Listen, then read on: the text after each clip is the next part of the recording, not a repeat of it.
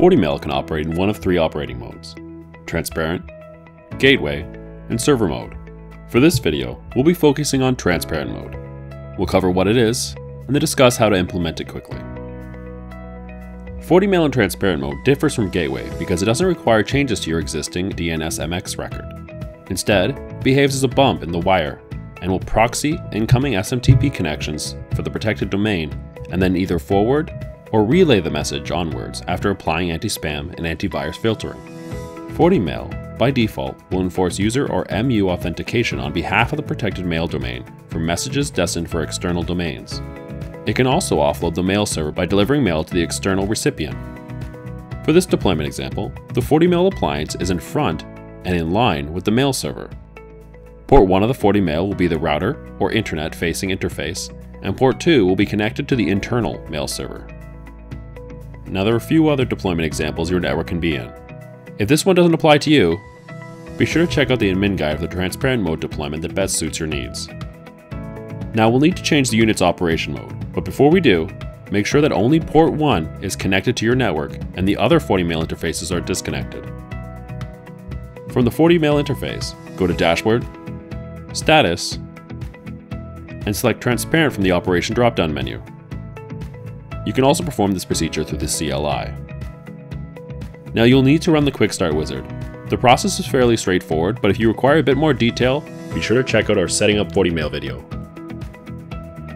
If the FortiMail unit is operating in transparent mode, in most cases, configuring DNS records for protected domain names is not required. Proper DNS records for your protected domain names are usually already in place. However, you must configure public DNS records for the FortiMail unit itself. By default, your web release hostname or IP is not configured, so the web release or delete links that appear in spam reports will use the fully qualified domain name of the FortiMail unit. For example, if the FortiMail unit's hostname is fortimail and its local domain is example.net, the FQDN will be fortimail.example.net, and the spam report's default web release link will look something like this. In the DNS configuration to support this, configure the following three records example.net and mx10 fortimail.example.net, where example.net is the local domain name to which the FortiMail unit belongs in the MX record, and the FortiMail is the mail gateway. FortiMail.example.net is the FQDN of the FortiMail unit. FortiMail in a 10.10.10.1, where 10.10.10.1 is the public IP address of the FortiMail unit, and then 1 in PTR, FortiMail.example.net. It might be a good idea to provide a private DNS server on your local network to improve performance with features that use DNS queries. Be sure to consult the admin guide for further details if you require assistance. When configuring the protected domain and session profiles, you can select transparent mode options to hide the existence of the FortiMail unit. Protected domains define connections and email messages for which the FortiMail unit can perform protective email processing. To configure transparent mode options, go to Domain and User, Domain, and Domain, and then select the desired domain, and then Edit. Let's focus on the options that are only available if you have transparent mode on. Here, you'll want to select the network interface to which the protected SMTP server is connected. If we enable Hide the Transparent box, we'll preserve the IP address or domain name of the SMTP client for incoming mail messages and mask the existence of the FortiMail unit to the protected SMTP server. Then we enable use this domain to allow SMTP clients to send outgoing email directly through the protected SMTP server, and then select OK. Now we configure the transparent mode options of the session profile by going to Policy, IP Policy, IP Policy. Now select the name of the session profile from the Sessions column. Configure as desired and then for Hide this box from the mail server option, We'll enable it if we want to preserve the IP address or domain name of the SMTP client to mask the existence of the unit, as we did previously.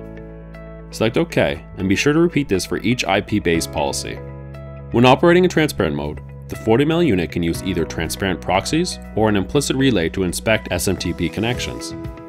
If connection pickup is enabled for connections on that network interface, the FortiMail unit can scan and process the connection if not enabled, the FortiMail unit will either block or permit the connection to pass through unmodified.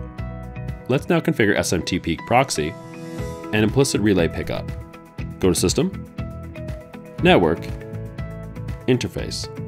Edit SMTP proxy settings on both port 1 and port 2. For port 1, we'll select drop for incoming connection, pass for outgoing, and enable local connections. For port 2, we'll select proxy, drop, and disable. So now, incoming connections arriving on port 2 will be scanned before traveling to the mail email server and are configured as a proxy. And that about wraps it up for today. You should now have a good understanding of how to successfully implement the transparent mode operation mode for FortiMail. Thanks for watching, and have a great day.